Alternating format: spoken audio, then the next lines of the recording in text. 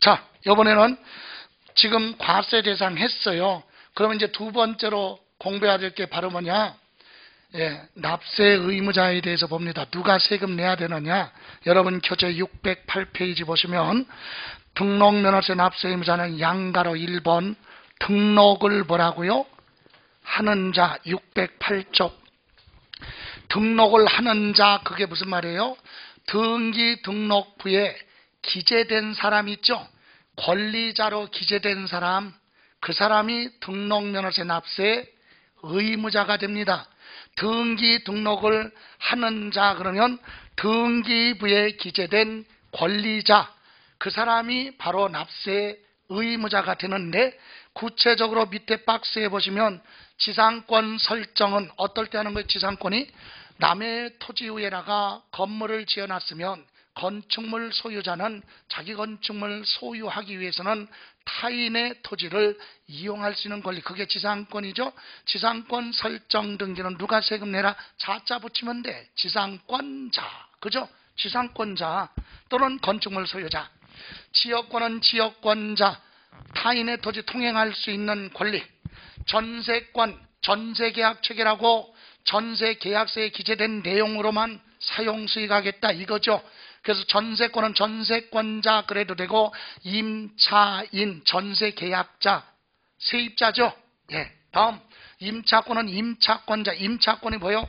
월 임대차 금액, 월세 얼마 주고받기로 했느냐? 민법에서는 차임이라고 얘기하죠. 예, 그래서 임차권 설정 등기는 월 임대차 금액, 월 임대료 주고받기로 약속한 거 보호받기 위해서 등기하는 게 임차권. 그래서 임차권자가 납세 임자, 임차인. 저당권은 돈 받을 사람이죠. 그래서 저당권자 그리고 또는 뭐 채권자 은행에서 대출 받으면 은행이 납세 의무자가 되죠. 은행 이름으로 기재하니까 예. 가등기 여러분 본 아, 채권 저당권은 저당권자고 가등기는 본등기 하기 전에 가등기는 예고등기죠. 매매가 진행 중에 있다라고 알리는 거 가등기.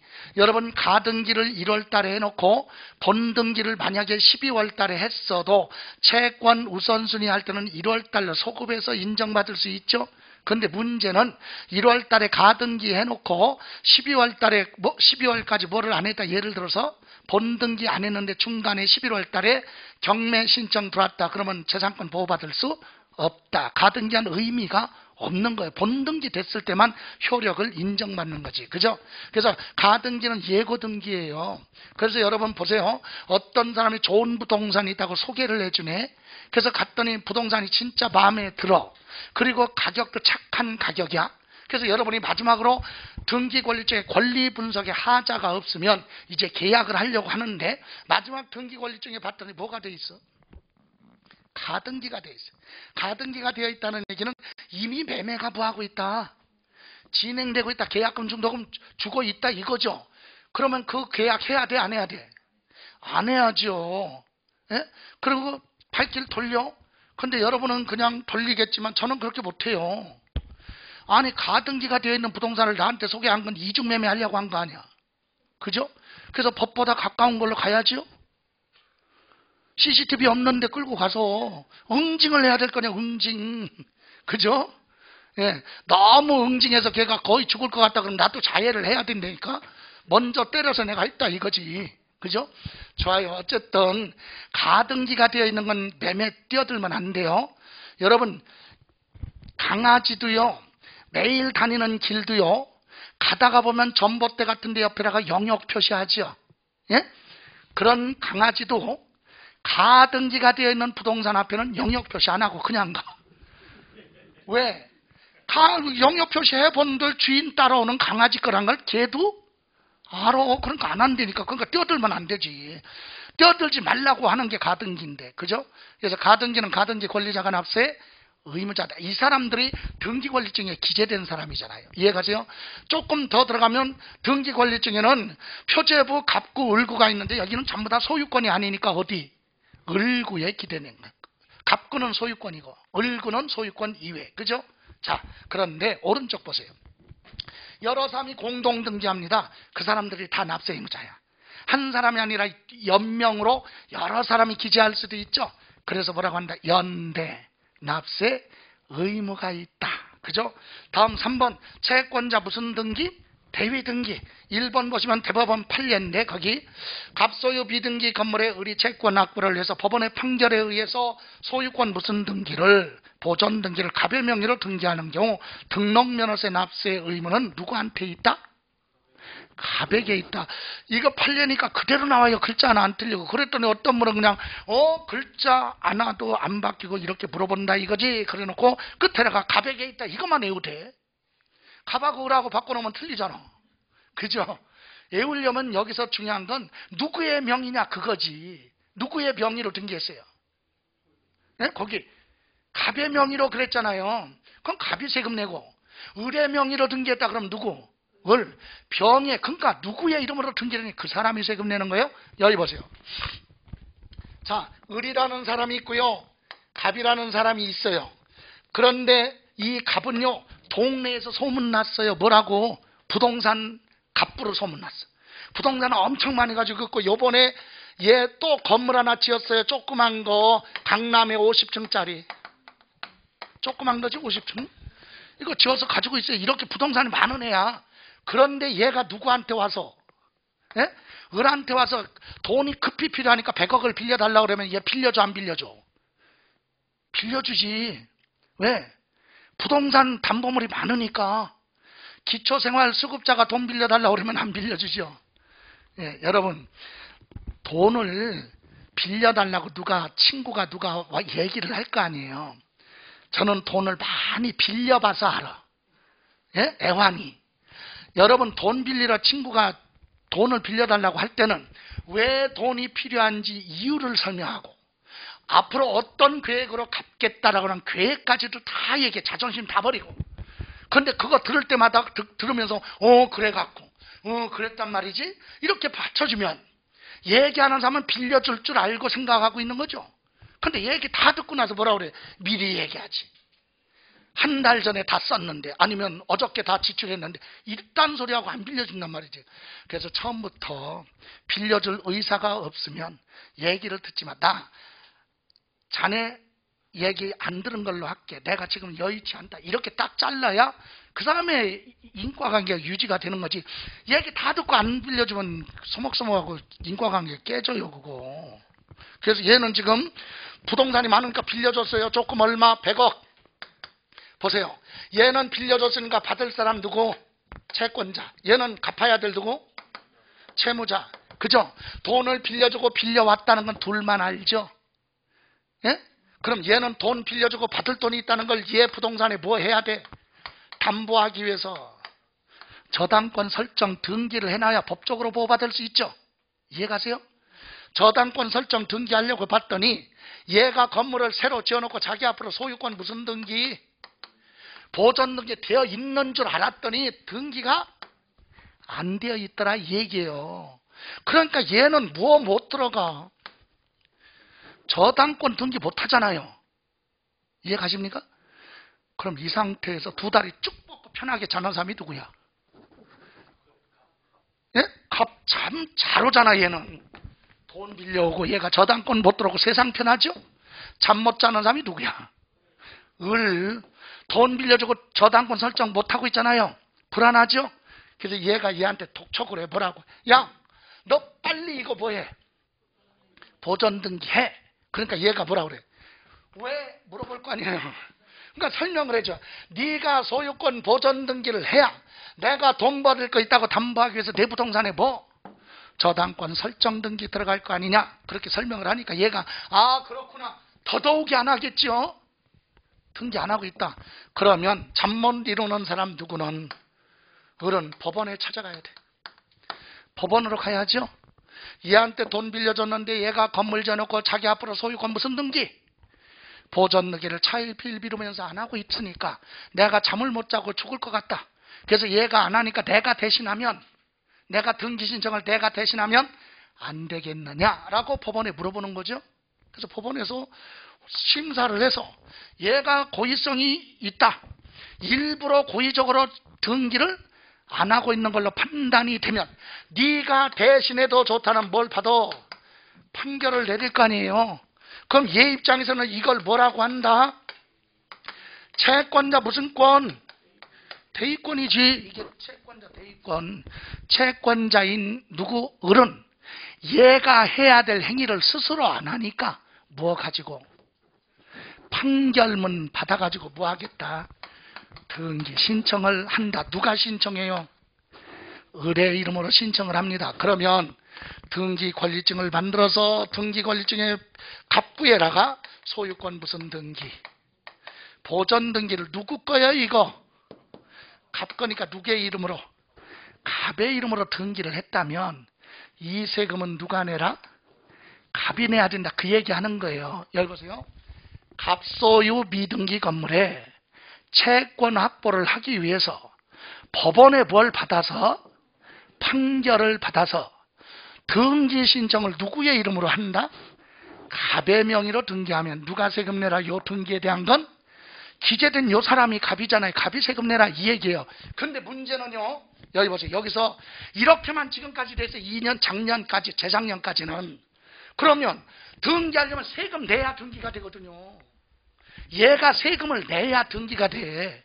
그런데 얘가 납세의무자는 얘인데 얘가 등기 안 하려고 뭐를 안 내? 세금을 안 내면 등기 자체가 안 돼. 신청을 해서도 세금을 냈어야 접속을 할 거 아니야. 유명무실하죠?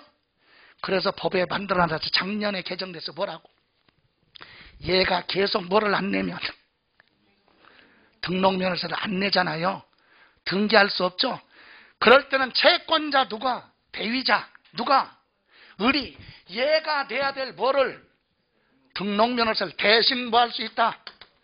납부할 수 있다 이렇게 된 거야. 그래서 납부했으면 뭐 받아서 확인서 받아가지고 신청 등기하라 이거지. 이해가세요? 세금 내고 접수하면 등기가 되니까. 여기까지는 이렇게 등기한다면 얘가 세금 내는데 납세의무자는 얘인데 얘가 세금을 안 내면 등기 자체가 안 되니까 의미가 없으니까 그걸 보완하기 위해서 채권자 대위자는 채무자가 내야 될 등록면허세 대신 납부할 수 있다. 거기다가 여러분 교재 보시면 609페이지 1번 갑소유 미등기 건물의 을이 채권 확보를 해서 법원에 판결 그랬죠? 그게 채권자 대위권이라고 합니다. 판결에 의한 소유권 보존 등기를 누구의 이름으로? 갑의 명의로 등기할 때 등록면허세는 누구한테 있다? 갑에게 있다. 그 밑에다가 페이지 표시하세요. 620페이지. 620쪽. 620쪽 이렇게 표시하고 620쪽 가봐요. 620쪽 갔어요. 620페이지 기본서 뒤에 가보면 중간에 양가로 3번 등록면허세 신고 아니 그게 아니지. 그 밑에 4번 양가로 4번 채권자 대위자의 납부라고 나왔죠. 예? 예, 그게 작년에 개정돼서 들어온 거야. 1번. 거기 뭐라고 그랬어요? 채권자 누구는 대위자는 여기서 대위자는 누구예요? 갑이야, 을이야? 을은 납세 의무자 누구를 갑을 대위하여 대신해서 부동산 등기에 대한 등록 면허세를 뭐 할 수 있다? 신고 납부할 수 있다. 이 경우 채권자 대위자 을은 세금 냈으니까 행정안전부령이 정하는 바에 따라 납부 뭐 확인서를 발급받을 수 있다. 이해가세요? 그래가지고 등기 신청하면 되는 거예요. 이해가세요? 거까지. 됐습니까? 다시 한번 앞으로 갑니다. 609쪽. 자, 채권자 대위 등기를 누구의 이름으로 하면, 갑의 명의로 하면 등록면허세는 누가 세금 내야 돼? 갑이 내야죠. 근데 갑이 계속해서 안 내면 채권자 대위자인 누가 을이 대신 납부할 수 있다. 이해가십니까? 예, 저. 다시 됐어요. 거기까지만 보시고 또 하나 609페이지 가셔. 다시. 609페이지로 다시 되돌아가서 4번. 요것도 대법원 판례입니다. 등기 등록이 된 후 법원의 판결에 의해서 등기 등록이 무효 취소가 되어 등기 등록이 말소된다 하더라도 이미 납부한 등록면허세는 과언합 잘못 낸 것이 아니기 때문에 환급 대상이 되지 않는다. 되돌려 주지도 않고 되돌려 받을 수도 없다. 이해가세요? 여기 보실래요? 여러분 제가 부동산을 여러분한테 팔았어요. 나는 뭐네? 양도소득세네요. 여러분은 취득했으니까 뭐네?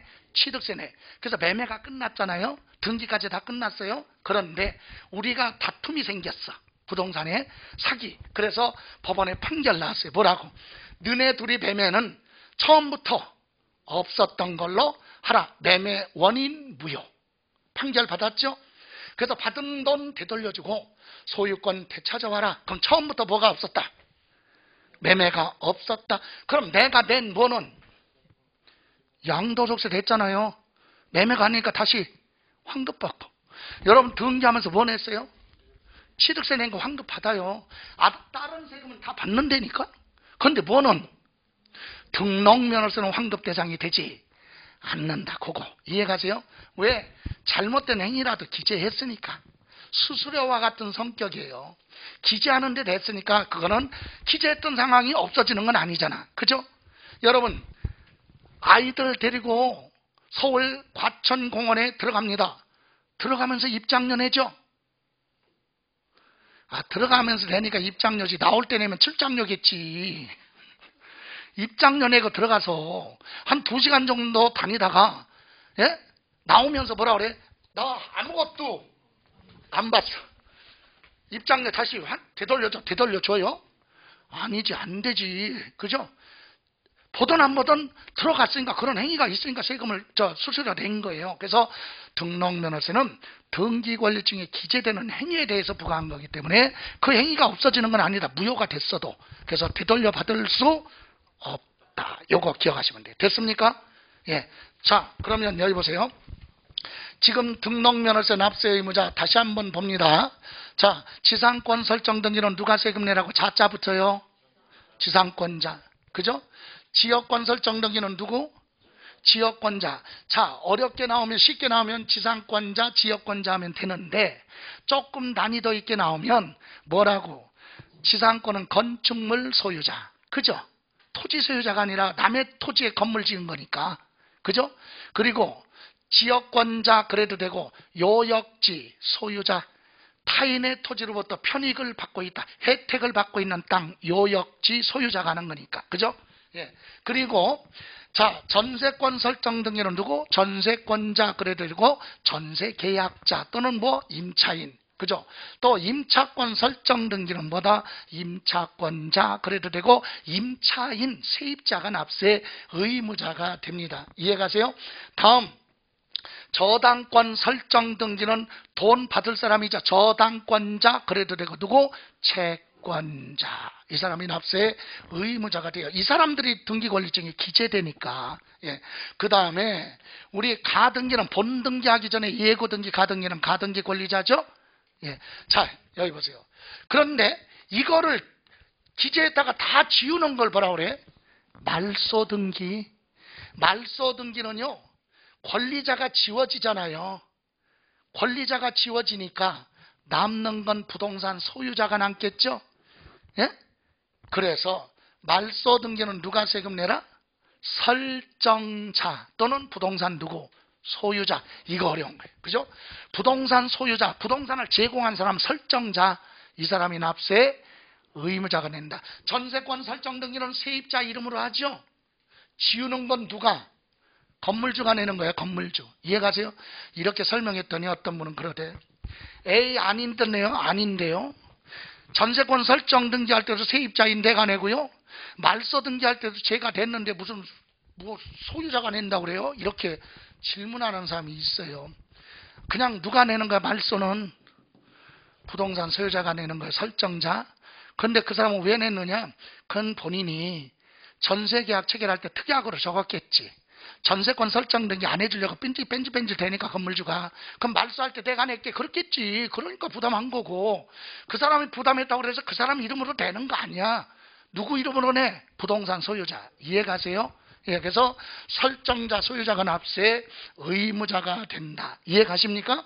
예 그리고 여기 채권자 누구는 대위자는 채, 채무자가 등록면허세 납부를 안 하면 누가 대위자가 대신해서 채무자를 대신해서 등록면허세 부할 수 있다. 신고 납부할 수 있다. 그리고 행정안전부령이 정하는 확인서를 받아가지고 등기 신청할 수 있다. 이 얘기. 이해가십니까?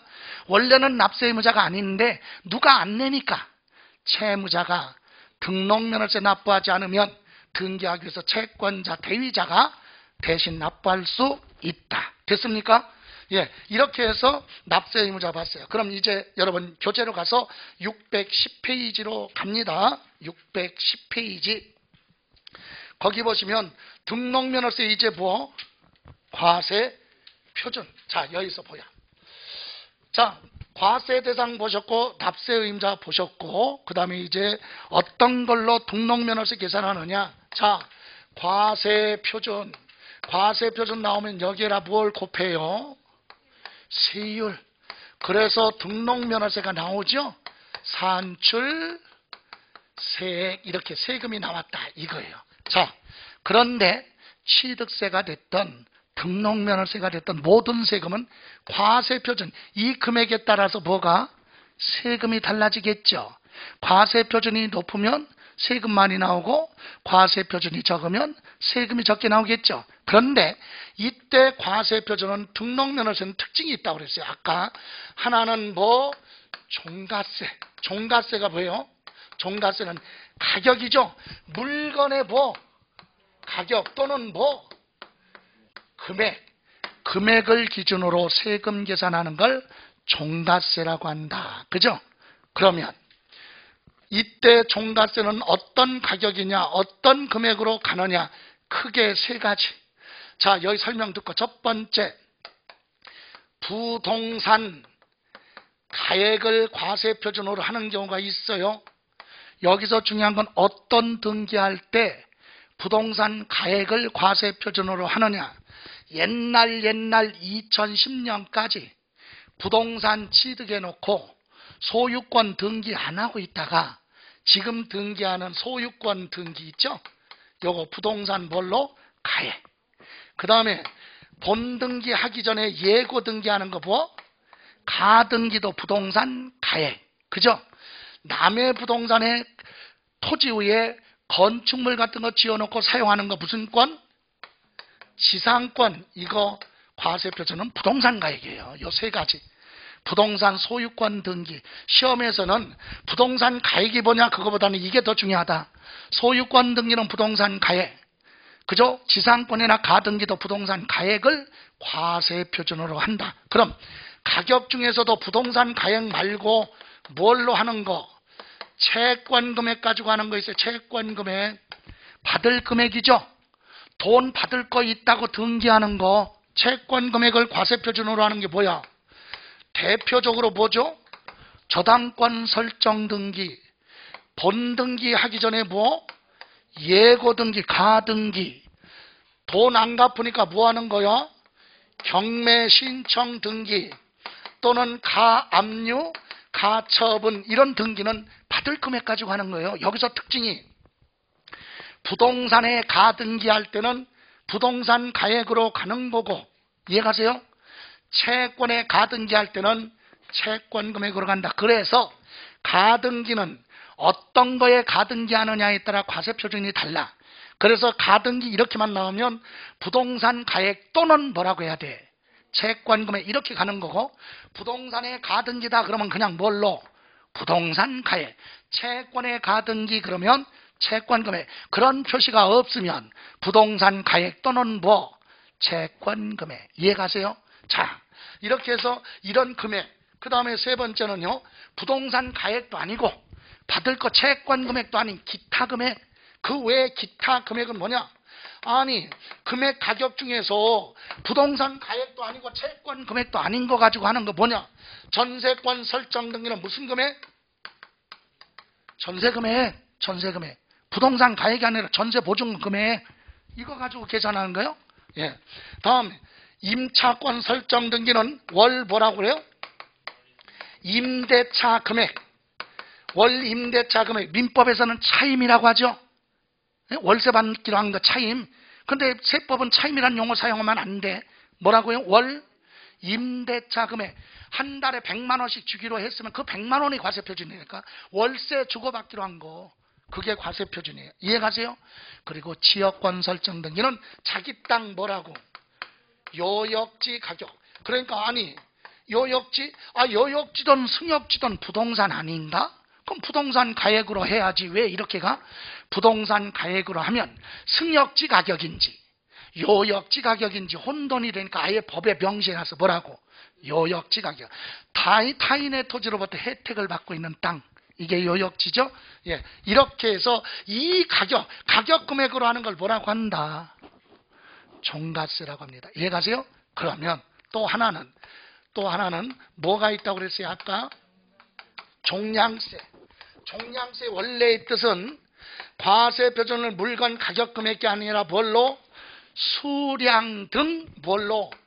단위, 단위로 표시하는 거. 세금을 계산할 때 수량 한 건, 두 건, 세 건 이렇게 세금 계산할 수도 있고요. 무게에 따라 세금 낼 수도 있죠. 1kg당 얼마. 지역 차원 시설세 같은 경우는 컨테이너 있죠. 컨테이너 하나당 15,000원인데 컨테이너 용어가 뭐냐? 1TU당 15,000원 이렇게. 또는 1제곱미터당 얼마, 1세제곱미터당 얼마 이런 걸로 세금 계산할 수도 있다. 이런 걸 뭐라고 한다? 종량세라고 그래요. 그런데 우리 세법은 등록면허세 중에서는 등록면허세는 구체적으로 뭘로 한다. 종량세 중에서도 수량으로 가. 건수. 한 건, 두 건, 세 건. 한 건당 6천원씩입니다. 한 건당 얼마? 6천원. 두 건이면 만 2천원. 한 건, 두 건, 세 건. 그게 과세 표준이에요. 이해가세요? 예, 이렇게 두 가지로 되어 있다. 그러면 여기서 이제 다 설명했어요. 그럼 여기서 무슨 가액? 부동산 가액은 뭐냐? 여러분 교재 봅니다. 610페이지. 등록면허세 과세표준 1번 무슨 가액? 부동산 가액에 대한 과세표준 그랬죠? 찾았어요? 610조. 거기 부동산 가액 해놓고 거기 물론 밑에도 있지만 부동산 가액 위에나 밑에라 메모하세요. 뭐 이거 적으면 돼. 이게 더 중요하니까. 부동산 가액을 과세 표준으로 하는 건 뭐다? 소유권 등기. 그 다음에 뭐? 가등기, 그 다음에 뭐? 지상권 설정 등기는 부동산 가액 가지고 하는 거예요. 이해가세요? 그럼 부동산 가액이 뭐냐? 1번 등기 등록 당시 부동산에 무슨 가액? 신고 가액. 신고한 가액. 그거 가지고 계산하겠다. 이해가세요? 등기 등록 당시 무슨 가액?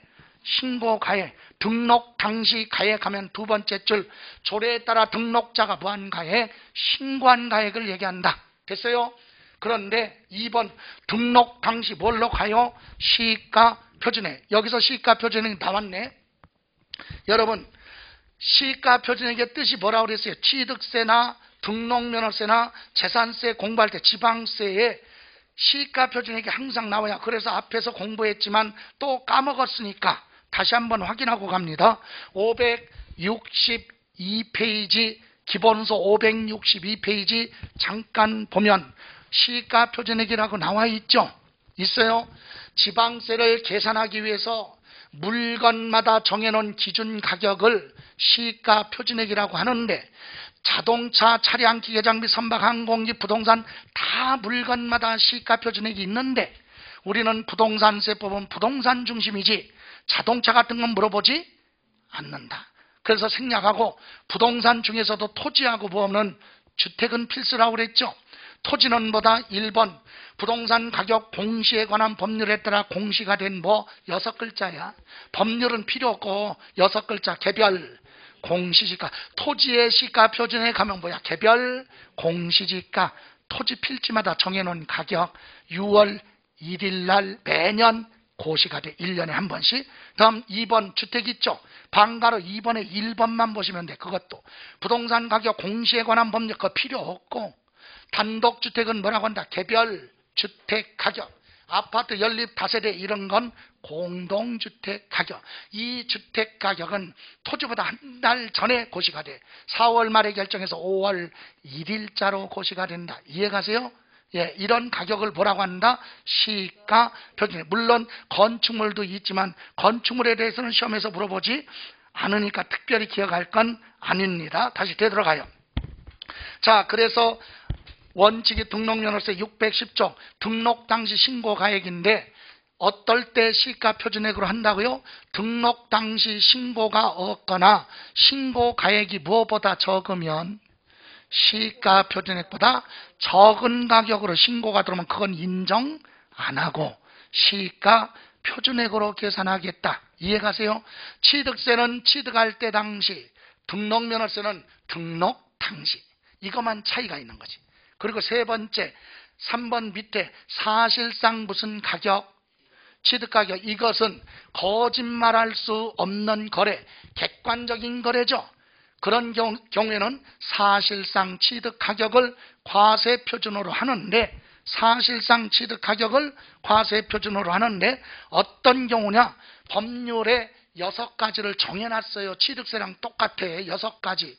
앞 글자만 따서 국, 외, 공, 반, 법, 부. 국이 뭐죠? 국가, 지방자치단체, 지방자치단체 조합으로부터 취득했다. 생각해봐요. 1번. 여러분, 국가로부터 부동산 취득해서 등기할 때 가격 조정할 수, 조, 조작할 수 없잖아. 상대방이 국가니까 확인되니까. 두 번째, 외국에서 뭐 하는 거? 수입하는 물건은 우리나라 국경을 통과할 때 관세가 부과되죠? 그러면 관세 부과될 때 가격이 결정되니까 그거 따라가. 세 번째, 공매나 뭐, 경매로 낙찰받았어요. 그럼 사실상 취득가격은 공매 가격, 경락가액이죠? 그건 조작할 수 없잖아. 다 공개적으로 공개를 하는 거니까. 이해가세요? 거짓말할 수 없는 가격.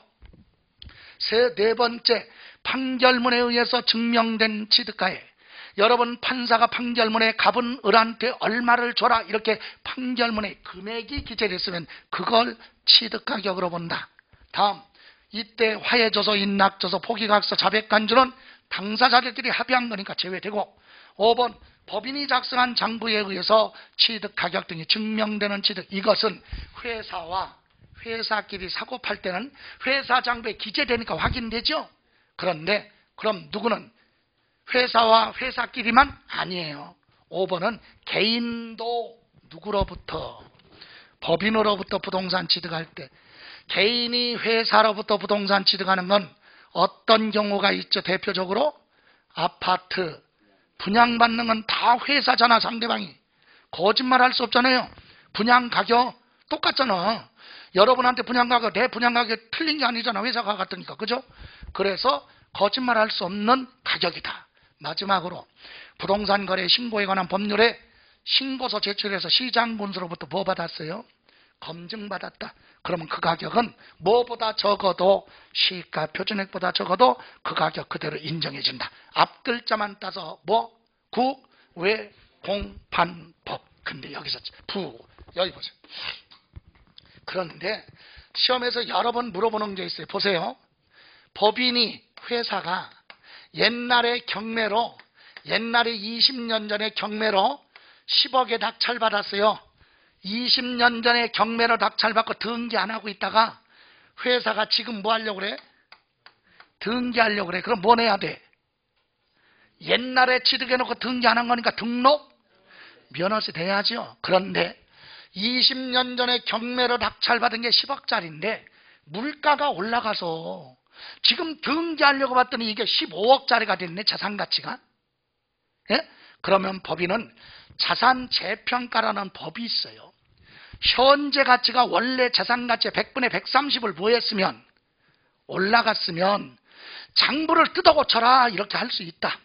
그러니까 장부에는 얼마로 기재되어 있어 10억으로 되어 있는데 지금 20년 지난 다음에 등기하려고 보니까 지금 가치가 자산 가치가 얼마야? 15. 그럼 장부를 뜯어 고쳐라. 재평가에서 얼마로? 15. 그럼 이걸 과세 표준으로 하겠다. 반대로.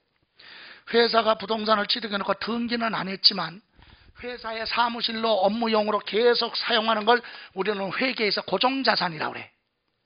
회사 사무실에 계속 반복적으로 사용하는 건 값어치가 감가상각 비용 처리하죠? 그래서 20년 동안 감가상각한 게 1억이다. 그럼 빼. 감가상각은 자산가치가 감소된 거야. 그러면 등기할 때 얼마가 됐어요? 9억. 이렇게. 자, 옛날 취득 당시 가격이 등록 당시 재평가로 증가됐을 수도 있고 감가상각으로 감소가 될 수도 있죠.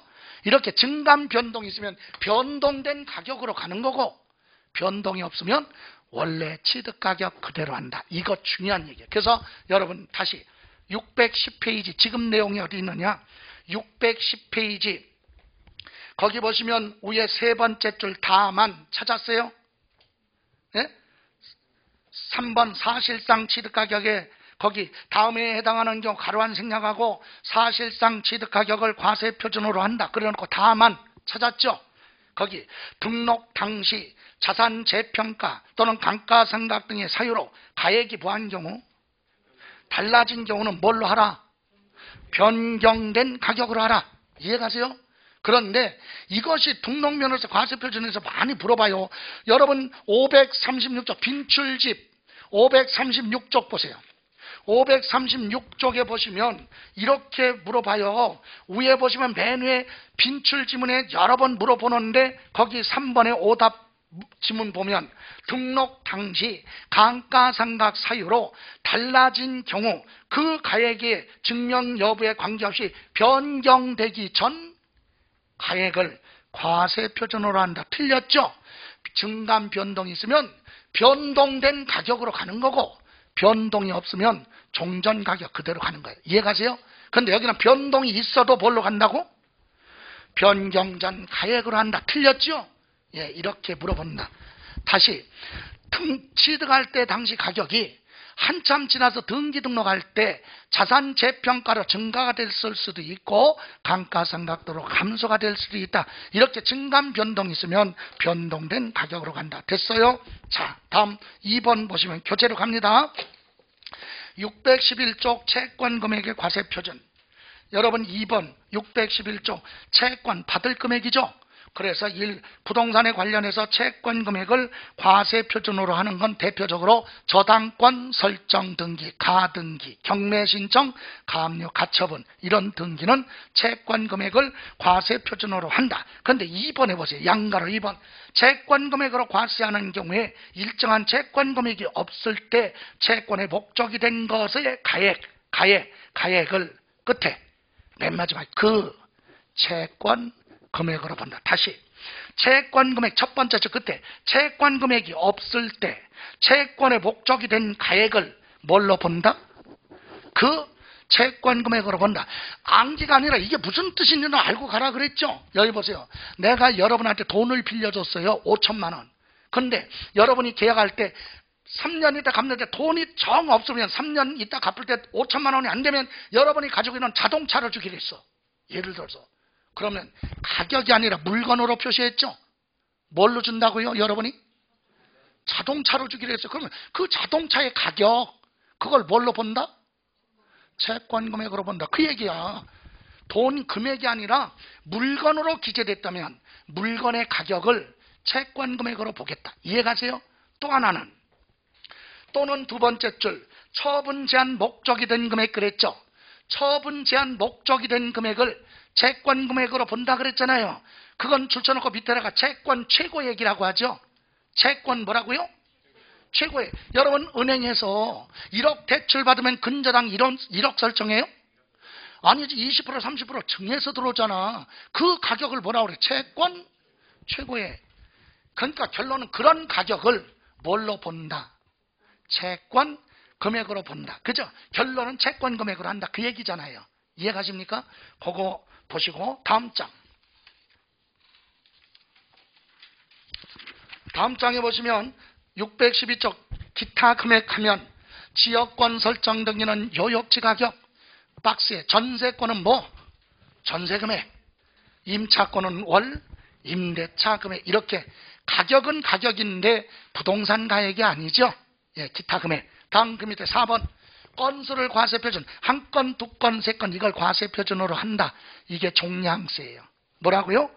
종량세. 그래서 말소 등기, 지목변경 이거는 등기 권리 중에 새롭게 기재하는 게 아니라 이미 기재된 걸 뜯어 고치는 거. 변경 등기죠. 임야대 전답으로 바꿔요. 지목 변경 등기. 엘리베이터가 없었던 건축물에 엘리베이터 설치했네. 건축물 구조 변경 등기. 동일한 대지 안에 건축물을 옮겼네. 표시 변경 등기. 두 필지를 하나로 합치는 거 합필 등기. 하나의 토지를 둘로 나누는 거 분필 등기. 이런 거는요. 소유권이 아니라 이미 기재된 걸 일부를 변경하는 거죠. 이런 건 건수로 부과한다. 발소 등기까지 한 건당 얼마? 6천 원. 한 건, 두 건, 세 건 그게 종량세. 이해가십니까? 자, 이렇게 해서 과세 표준 봤어요. 여기 보실래요? 자, 그럼 납세 의무자 보셨고, 이번에는, 자, 과세 표준 봅니다. 원칙. 첫 번째, 여기서 과세 표준 무슨 가액으로 할 때? 여러분 노트에 이거 없죠? 이런 거 메모하라 이거지. 여기서 과세 표준은 무슨 가액? 부동산 가액을 얘기하는데 여기다가 옆에다가 부동산 가액으로 하는 등기가 뭐 있다고 그랬죠 아까? 소유권 등기, 가등기, 지상권 설정 등기는 부동산 가액으로 하는 거죠. 근데 이때 부동산 가액은 어떤 거냐? 첫 번째 원칙. 등록 당시 가액. 다른 말로 등록 당시 무슨 가액? 신고 가액에. 이해가세요? 그게 원칙이죠? 근데 두 번째 뭐라고 그랬죠? 두 번째. 등록 당시 뭘로 가요? 등록 당시 뭘로? 시가 표준액으로 한다. 여러분 시가 표준액은 지방세를 부과하기 위해서 물건마다 정해놓은 가격을 뭐라고 그래서 시가 표준액. 그래서 토지는 뭐라고요? 개별 공시지가. 주택은 개별 주택 가격 또는 공동 주택 가격. 이런 걸로 하는 게 어떤 경우냐? 등록 당시 뭐가 없어요? 신고가 없네. 신고가 없으면 뭘로 가요? 시가 표준액으로 계산을 합니다. 그죠? 예, 그리고 두 번째 신고를 하긴 했는데 신고 가액이 무엇보다 적어 시가 표준액보다 적은 가격으로 신고하면 인정할 수 없다. 이렇게 해서 두 가지는 비교해서 금액이 무한 걸로 한다. 큰 걸로 한다 이 얘기예요. 신고 가액이 크면 신고 가액, 시가 표준액이 크면 시가 표준액 됐어요?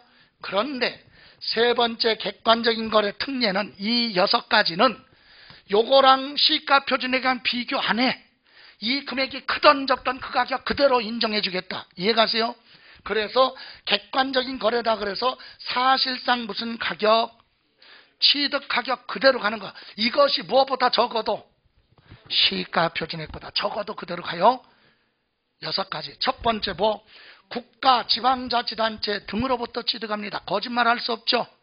두 번째 외국에서 뭐 수입에 의해서 취득하는 건 관세가 부과되니까 따라가고 공매하면 무엇까지? 경매. 그럼 공매는 공매 가격, 경매는 경락 가격이죠. 그 낙찰 가격은 공개적으로 공개가 되니까 거짓말할 수 없잖아요. 그죠? 판결문 민사소송이나 행정소송의 판결문에 기재된 거 예, 그래서 판결문에 기재된 금액 그대로 갑니다. 이때 여기 화해조서나 인낙조서, 포기각서, 자백간주는 판결문 범위에서 보한다. 제외. 이건 판사가 결정한 판결문이 아니라 자기들끼리 의사표시죠. 이런 건 인정하지 않습니다. 다음 법인 장부에 의해서 취득 가격이 보한다. 증명되는 취득. 이해 가십니까? 예. 그리고 여섯 번째 마지막으로 부동산 거래 신고에 관한 법률에 따라 뭐 받았어요? 검증받은 거. 이해가세요?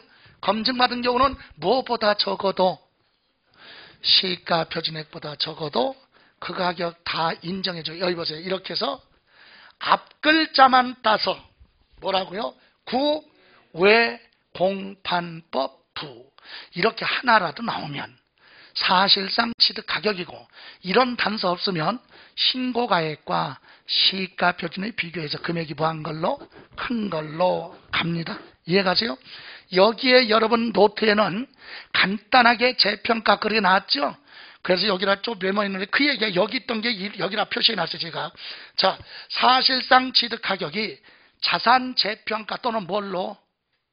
감가상각 등으로 가격에 뭐가 있으면 변동이 있으면 변동된 가격으로 한다. 이해가세요? 변동이 없으면 사실상 취득 가격 그대로 갑니다. 이해가세요? 이렇게 해서 등록면허세 부동산 가액이고요. 다음 장에 보시면 부동산 가액이 아니라 뭐 채권 기타 금액 있죠? 그래서 여기 기타 금액은 지역권은 부동산 가액이 아니라 요역지 가격, 전세권 같은 것은 전세 금액, 임차권은 월 임대차 금액 이해가세요?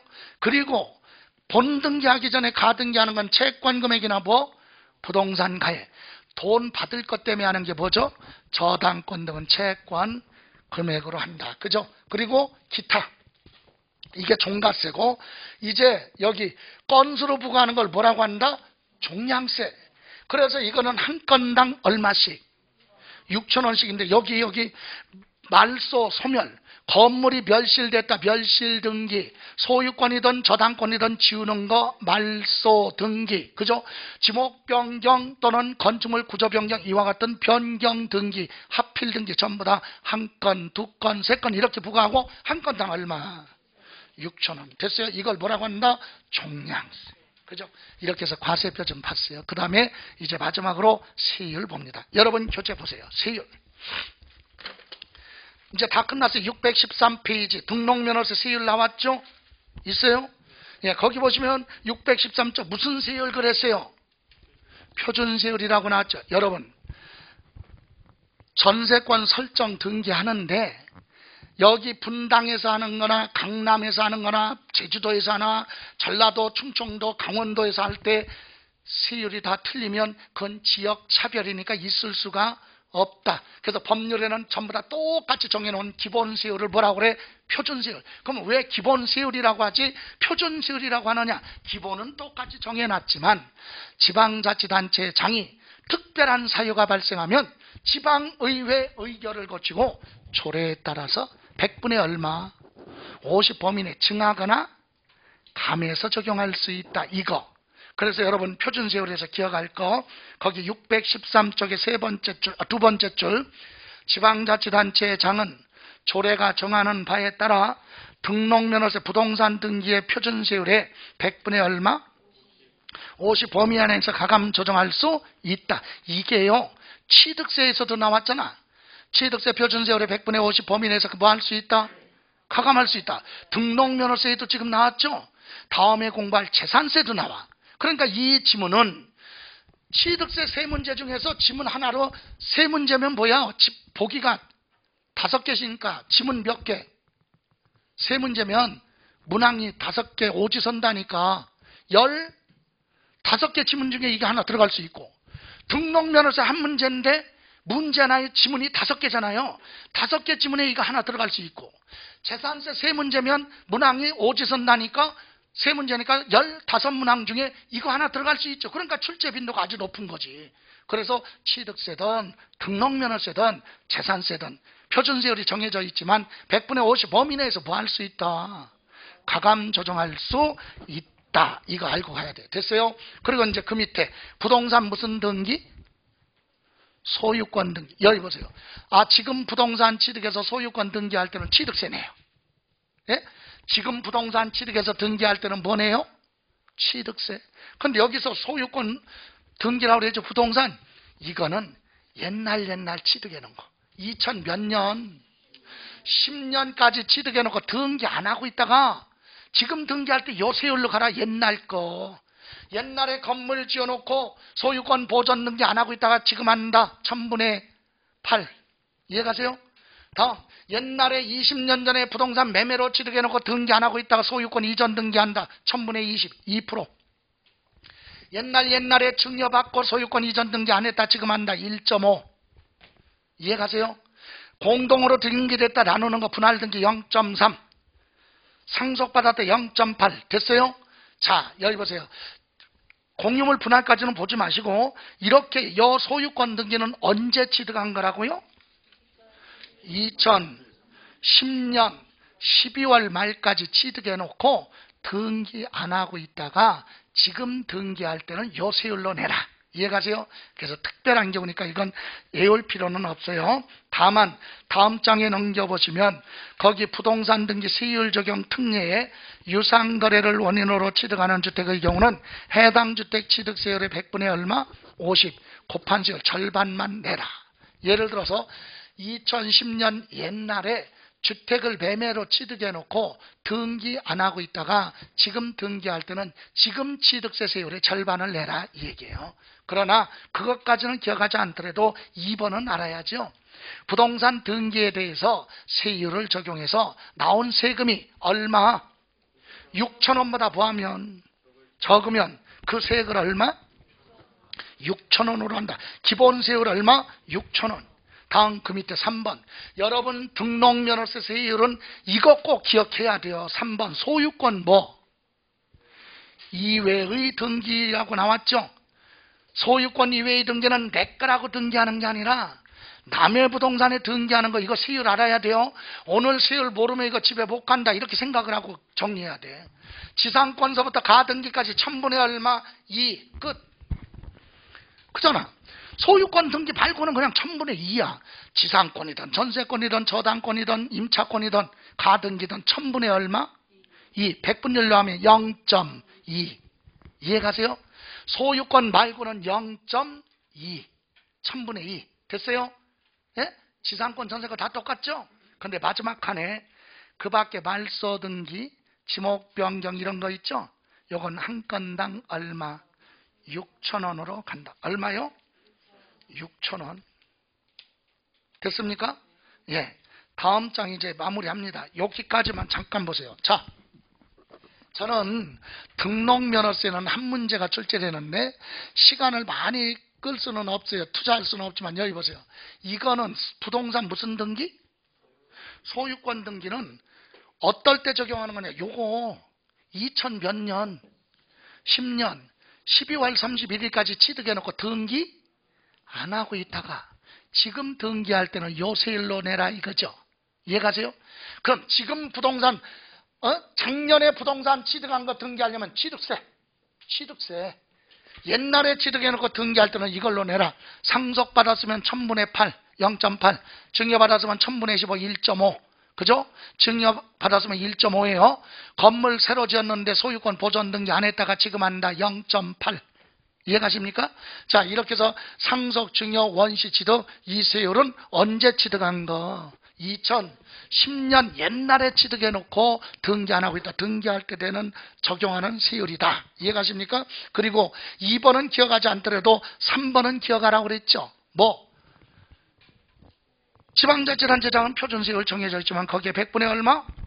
50 범위 내에서 뭐 할 수 있다? 예, 가감할 수 있다. 그거 하고 과세표준의 세율 적용해서 나온 세금이 얼마? 6천원 뭐일 때 미만은 그 세금을 얼마로? 6천 원까지 내라. 됐어요? 자, 여기 보세요.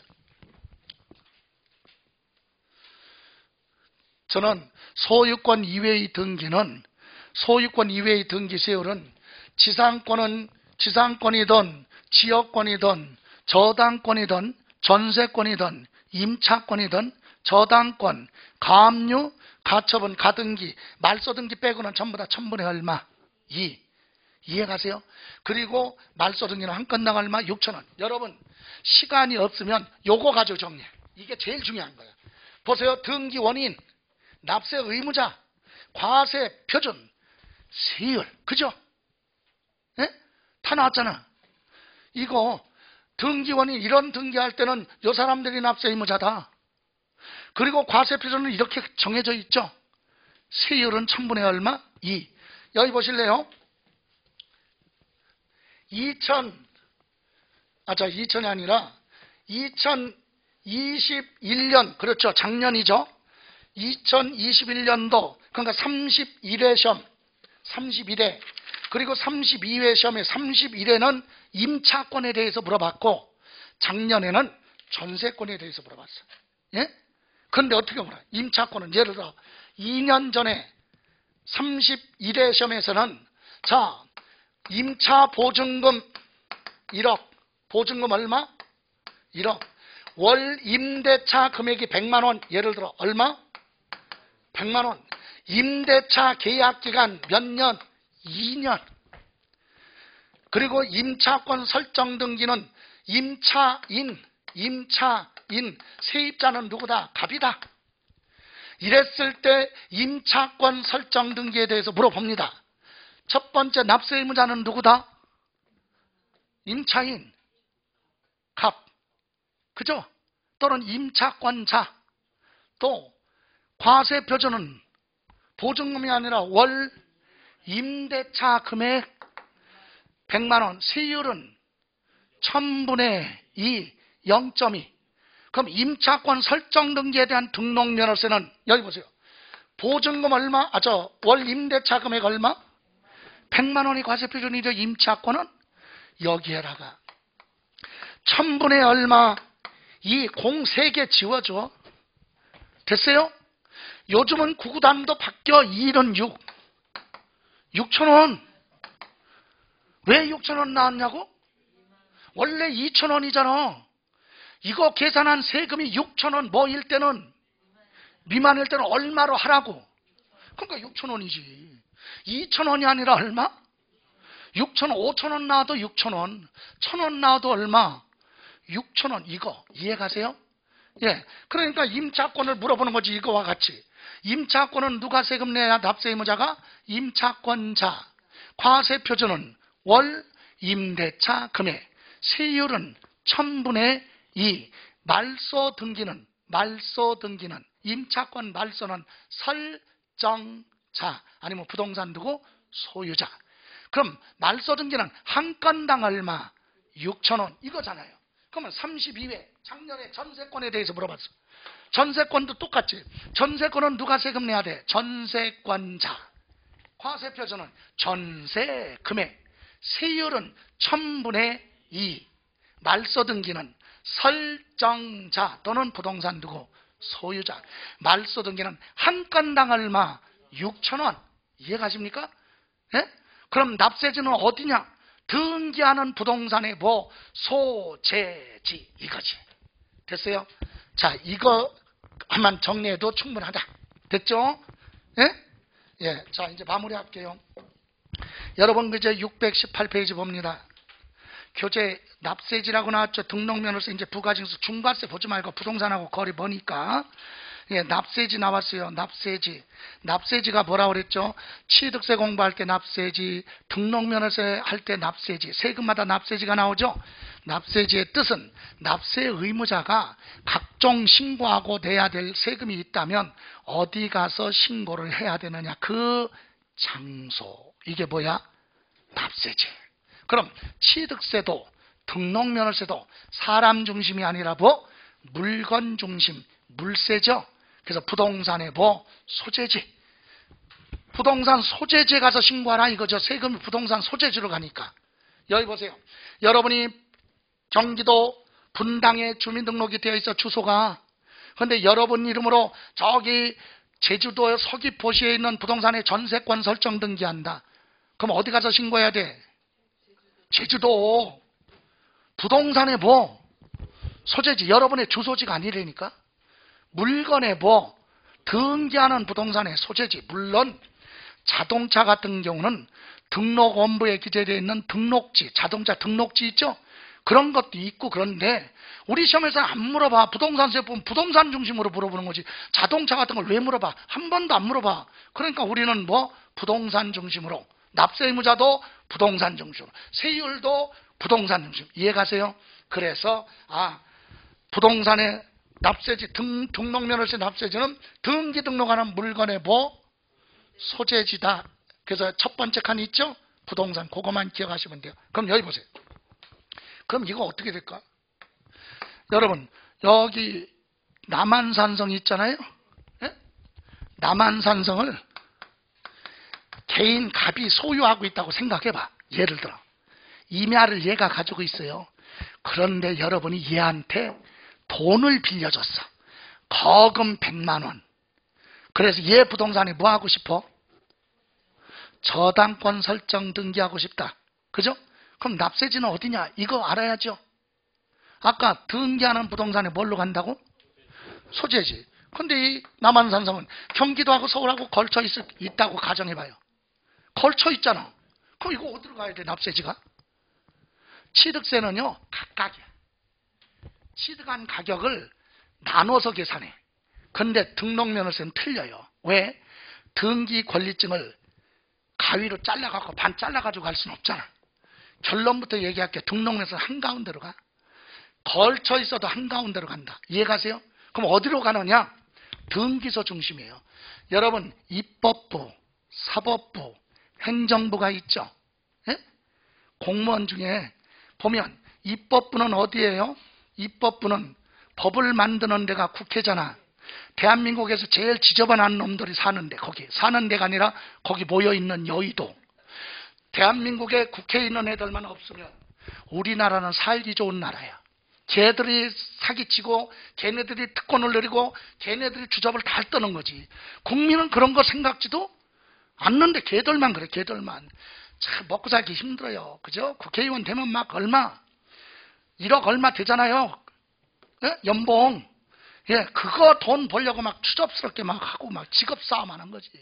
죽일 놈 살릴 놈은 그러고 달리 갔어. 여야 할것 없이 다 그래. 좋아요. 근데 입법부가 거기고 사법부는 어디에 법원이죠. 법원에 근무하는 공무원은 법원직 공무원이고 행정직은 특별시 광역시 시군구 이게 행정이잖아. 그러면 법원은 어디에 등기소는 법원 소속이잖아. 그죠? 등기소는 법원 소속이에요. 법원. 그럼 법원은 행정구역이 특별시, 광역시, 시군구 그렇게 나눠지지 않고 서울 같은 경우 서울 수도권은 어떻게 돼 있어요? 법원이 서초동에 서울중앙지방법원 있죠. 중앙에. 그리고 동서남북. 예? 북부지방법원, 남부지방법원, 동부지방법원, 서부지방법원 이렇게 나눠져 있다니까 행정구역이. 이해 가세요? 일반 행정구역하고 틀리지 법원은 그러면 등기 업무 담당하는 등기소가 관할구역이 다 달라. 그럼 여기서는 지금 만약에 이게 경기도 걸쳐 있다면 지금 어디 경기도 어디죠 여기가 남한산성 경기도 어디 성남에 있다고 그래요. 성남의 등기소가 성남 관할하는 등기소 서울 등기소가 있다고 그래요. 그러면 여러분이 생각할 때 여기 저당권 설정 등기해야 되는데 어디로 갈지 모르잖아. 법원에 전화를 해봤어요. 이 뭐에라가 남한상성 소유자 예 부동산에 뭐를 하려고 한다. 저당권 설정 등기하려고 하는데 관할이 어딥니까? 물어봤더니 어 거기는요 서울 성남이 아니 저 경기도 성남에 있는 등기소에서 담당하는데요. 그럼 납세지는 열리 가는 거야. 등기 업무를 담당하는 등록관청 중심으로 납세지가 결정된다. 이해가세요? 그것도 힘들면 이렇게 생각해. 취득세는 걸쳐 있으면 각각 등록면허서는 하나. 어디? 등기 업무를 담당하는 뭐? 등록관청 중심으로 납세지를 결정한다. 그것이 여러분 교재 619페이지 맨 위에 양가로 2번이 그 얘기야. 같은 등록에 관계된 재산이 둘 이상 지방자치단체 걸쳐 있어 등록면허세를 지방자치단체로 부과할 수 없을 때 등록관청부 소재지. 등기소 중심 법원 있죠? 법원 내 등기소잖아. 그 관할을 뭘로 하겠다? 납세지로 하겠다. 등기소 있는 등기 업무를 담당하는 법원을 중심으로 납세지가 결정됩니다. 됐어요?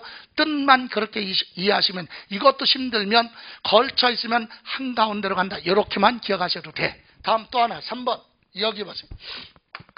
갑이라는 사람이 누구한테 을이라는 사람한테 돈을 조금 빌려줬네. 100억 얘는 받을 사람 채권자, 얘는 갚아야 될 누구? 채무자. 요거 빌려주고 빌려왔다는 사실은 둘만 알죠?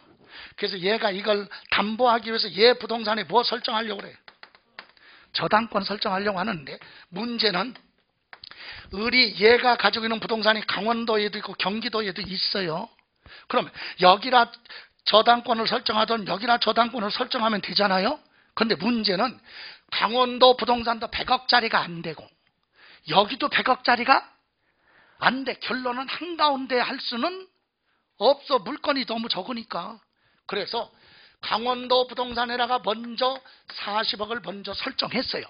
그럼 채권 100억에서 40억 설정했으니까 빼고 나머지 얼마를 60억을 경기도 부동산에 근저당을 저당권을 설정했다. 자, 하나의 동일한 채권을 담보하기 위해서 둘 이상의 물건에 뭘 설정할 때는 저당권 설정은 따로따로 등기는 했지만 세법은 하나로 봐. 세법은 하나로 보고 세금이 어디로 가느냐? 납세지는 물건 종류, 금액, 크기 상관없어요. 순서, 순서. 맨 처음에 어디? 강원도에라 했잖아요. 그럼 세금은 어디? 납세지가 강원도. 여기는 돈 한 푼도 안 들어가. 세금 다 열리가. 이해 가세요? 예, 그것이 몇 번? 3번.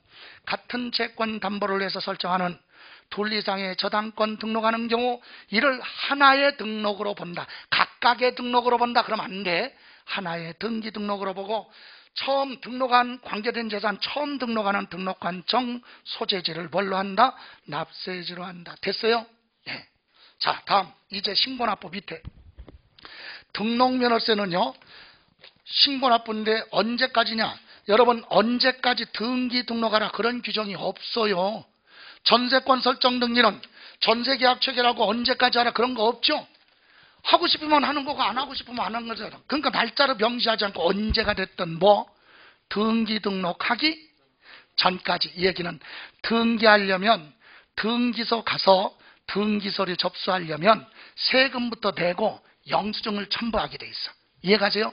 그래서 등기 등록하기 전까지 그러면 등기소 등록관청에 등기 서류를 접수하려면 세금부터 내라. 아니 우리가 법을 공부했는데 그 말이 없었거든요. 그런 말이 어디 있느냐? 여기서 잠깐 다음 장 넘겨보시면 다음 장에 넘겨보시면 뭐가 나왔냐면 600 600 21쪽 등록면허세 아 저기 622페이지 622페이지 맨 위에 보시면 등기 등록 시 영수필 통지서 등 첨부라고 되어 있죠. 자 거기 보시면 등기하기 전까지 등록면허세를 먼저 내야 될 이유가 여기에 나와 있어. 1번 납세자는 등기 등록하려는 때 등기 또는 등록 신청서에다가 등록 면허세 냈으니까 영수증 받아야 되겠죠? 영수필 통지서 한부, 영수필 확인서 한부 이렇게 두 가지를 등기에 관한 서류에 뭐하라? 첨부해야 돼요. 이해가세요? 첨부하여야 한다. 그러니까 등기소 가서 서류 접수할 때 세금 낸 영수증이 없으면 접수 자체가 안 돼. 이해가세요? 내고 영수증을 첨부해서 등기소 가야 접수가 된다 이 얘기입니다. 이해가세요? 예? 그러면 만약에 만약에 비과세는 뭐예요? 비과세는 참고로 비과세는 세금 내 안 내? 안 내니까 영수증이 없죠? 예? 그럼 어떻게 해야 돼? 등기하려면 시장 군수한테 가서 비과세 확인서 감면 대상이라고 확인을 받고 그리고 등기소 가야 접수가 된다. 이해가세요? 예, 그렇게 이해하시고 다시 되돌아가요. 자, 그럼 이제 620쪽 맨 위에 추가 신고납부 취득세랑 똑같아요. 만약에 등기 등록하고 중과세 대상이 됐다, 비과세 대상이 과세 대상이 됐다. 그때는 사유 발생한 날로부터 중과세 대상이 된 날로부터 추가로 내는 건 등기 또 하는 게 아니에요. 이미 등기한 후에 중과세 대상이 되면 세금만 추가로 내는 거지. 그래서 60일 이내 사유 발생한 날로부터 며칠 60일 이내 신고하고 납부하라. 됐습니까? 자, 여러분 등록면허세에서 제일 많이 물어보는 것이 양가로 3번의 그 밑에 등록면허세 신고 의제. 여러분 여기 보세요. 등록면허세는요. 내려면 어떻게 했죠? 절차 한번 볼까요? 여기 잠깐만 보실래요?